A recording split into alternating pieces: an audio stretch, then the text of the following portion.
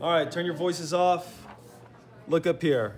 Last time we were here, we went outside, we took a picture of a landscape, and then we came inside and we used our three drawing pencils to um, trace this landscape on our iPad. This time, what we're gonna do is we're going to practice using a viewfinder. What a viewfinder is, is when you, you can hold it up to real life and it can help you crop out everything else that you don't want to have on your page. This is really helpful in real life because um, I, over here in this image here, if I was looking at it, I might see trees over here. I see sky all the way up here. Right here might be a mailbox. I want to crop out everything.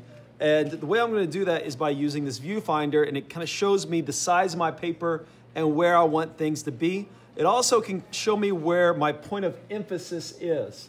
Um, so right here, if I'm looking at this picture, I would say that my point of emphasis could possibly be right here where this dark spot is. It could be up here in this tree. Um, I would suggest either trying to make one of these buildings my point of emphasis. And the way I do that is by making the highlights brighter in one of these buildings and everything around that highlight darker.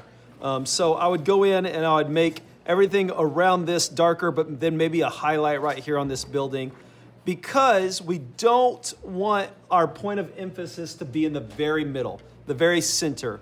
And this picture here runs that risk. It, it would still be an interesting picture, it'd still be okay. But typically, humans, we don't want the emphasis to be in the very center. I don't know why, but humans, it kind of, we don't like it. We don't like the way it looks. Um, so typically as an artist, what we'll do is we'll push it off center, a little bit to the left or a little bit to the right, a little high or a little low. This one is a little low already, and it's a little over here to the right. So this one might make a better point of emphasis, this part of the building.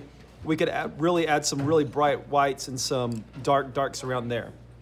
Okay, back to the viewfinder. We're going to practice using the viewfinder not in real life by holding it up at our image and going outside, but first we're going to practice by simply taking our paper that we've already stretched and put onto a board, and we are going to lightly draw this, uh, this cross here or star that you see here. The way I do that is I start by going from corner to corner.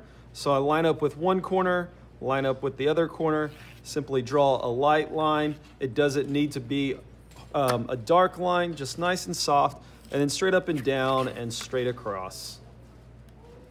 That lets me know where I'm at on my paper compared to this. So if I need to make this bigger, I'm gonna actually kind of do that so it doesn't have a glare. That's worse. Um, I don't know how to make it not have a glare.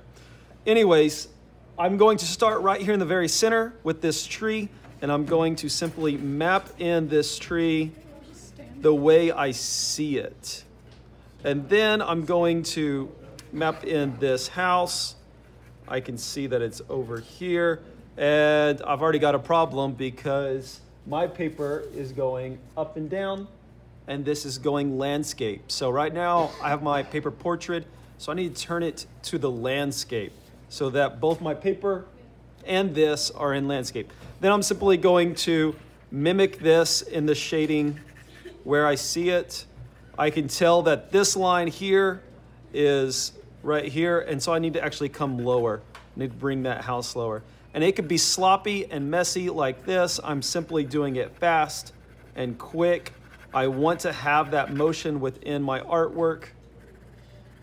And I can tell this is right here on along this line, like this. And that's what you're going to do. You're simply tracing it, transferring it from one paper to the other, making it slightly larger this time around.